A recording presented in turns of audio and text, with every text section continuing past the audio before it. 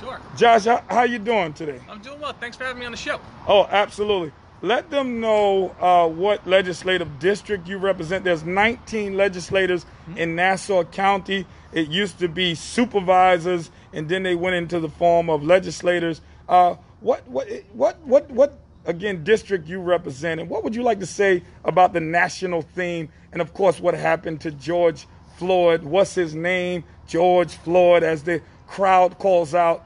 Uh, what do you want to say, sir? Sure. So again, my name is Josh Lafazan. I have the privilege of representing District 18 in the legislature, Syosset, west to Roslyn, north to Bayville, so northeast Nassau County. Uh, what I want to say first and foremost is, of course, I condemn the horrific killing of George Floyd and those who came before him. But as I said in the video I posted on Facebook, it's not enough just to condemn. We must take action to make sure that we put safeguards into place so that what happened to George Floyd and those before him never happens again. What I'm working on here in, in Nassau County, one of the most segregated counties in the nation, is that in order to fix a problem, we have to acknowledge that it exists in the first place.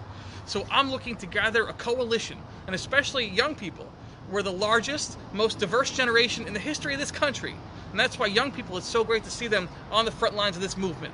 But we have to understand that Nassau County has a dark past with systemic racism and injustice. About how Robert Moses built bridges so low so black residents couldn't go to our beaches. About how many of our grandparents came back from the war and moved to suburbs like Levittown, backed by low interest federal loans that weren't available to black Americans, many of whom just fought in that very same war.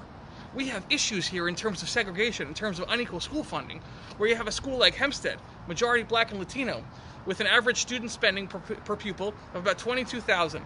You move one block over to Garden City, 77% white, and they spend $7,500 more per pupil.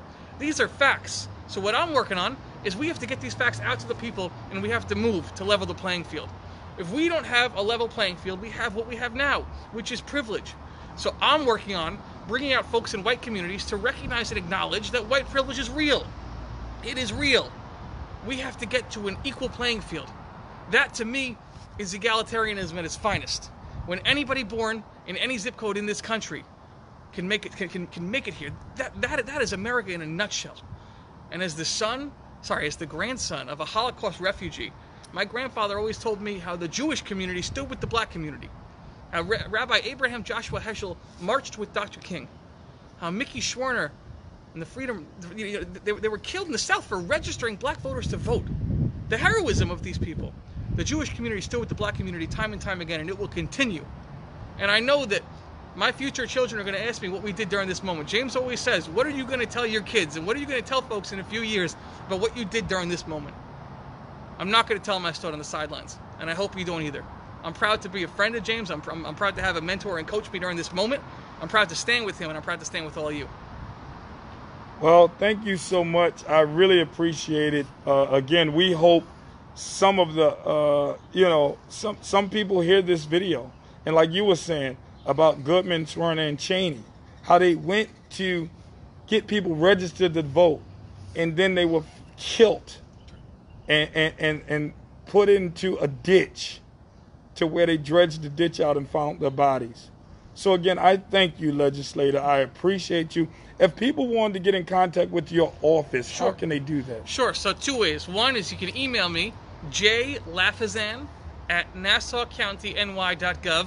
But I am a millennial. I'm 26, so you can just DM me on Instagram. The DMs are open. I want to hear from you. And this goes out to the young people as well. Young people often say, you know, I'm young, millions of people in this country, how can I make a difference? Well, there's a millennial representative right here, and I'm looking to hear from you. If you have an idea for change, if you have an idea for a law in Nassau County, if you want to vent your frustrations, if you want to be heard, I want to hear you, and I'm always going to be here to listen at Josh Lafazan on Instagram. Again, thank you for having me on the show, James. All right.